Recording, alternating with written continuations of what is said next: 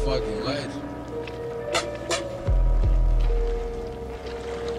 I'm a motherfucking one hand in the air, six feet fucking down.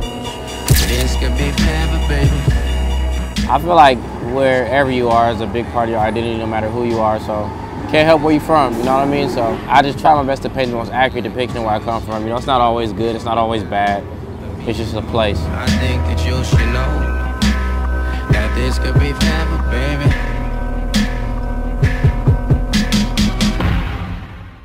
What's your addiction, baby? Love can make the bitch go. I've probably been asked that like a hundred times, and I'll never know what to say. I would have probably shot me when I was 16. If I'd have walked up to me trying to talk about some, hey bro, you need to listen to me, I would definitely would have shot me at 16.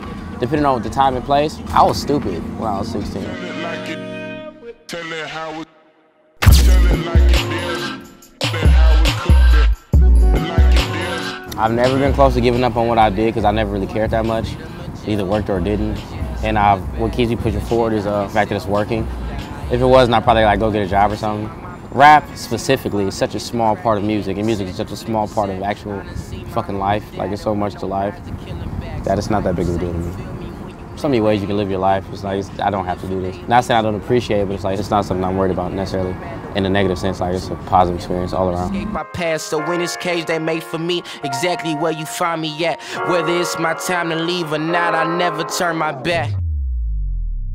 a a weekly regular appointment at the studio. I would try to finish my job of delivering rags and overalls to mechanics and stuff so I could get back to the tattoo shop. The two guys that introduced me to tattooing, Dean Sacred and Dan Anderson, were just like the greatest, most you know, inspirational people.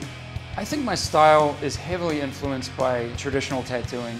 Obviously, Sailor Jerry is, is a pioneer.